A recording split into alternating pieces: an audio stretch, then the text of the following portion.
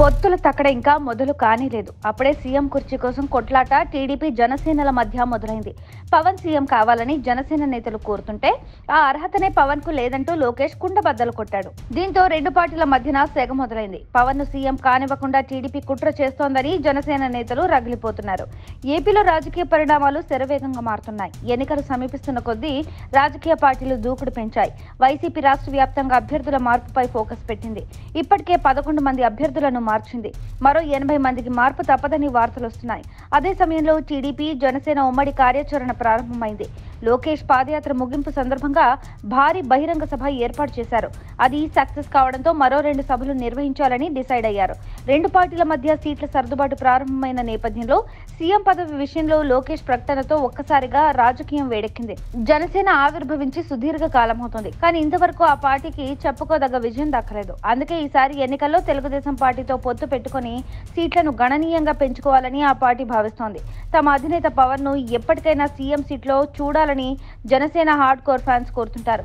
TDP Janasena కూటమి అధికారంలోకి వచ్చిన తర్వాత చంద్రబాబుతో పాటు పవన్కు పవర్ షేరింగ్ కావాలని బలంగా కోరుతున్నారు. కానీ తెలుగుదేశం పార్టీ నుంచి ఆశించిన స్థాయిలో స్పందన రావడం లేదు. సీట్ల షేరింగ్ వర్క్ ఓకే కానీ పవర్ షేరింగ్ విషయానికి వచ్చేసరికి మాత్రం ఆ పార్టీ నుంచి అభ్యంతరాలు వ్యక్తమవుతున్నాయి.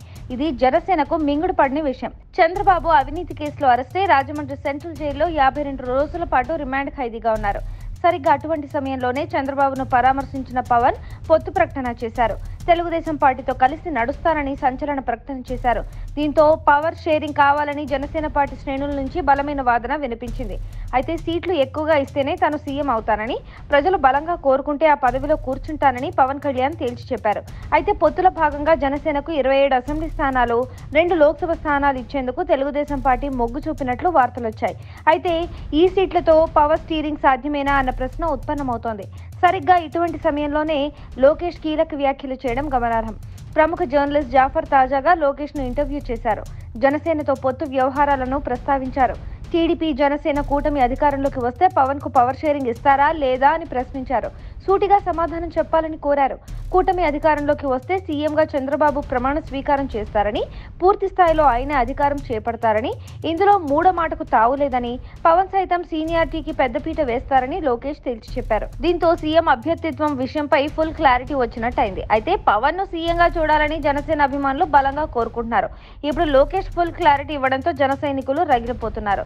చంద్రబాబును సీఎం చేసేందుకు మేము కష్టపడాలా అని నిలదీతలు మొదలయ్యాయి. ఇది అంతిమంగా ఈ కూటమికి బీటలు వారేలా కనిపిస్తోంది Subscribe to Social TV Telugu for more videos. Hit the bell icon for faster updates.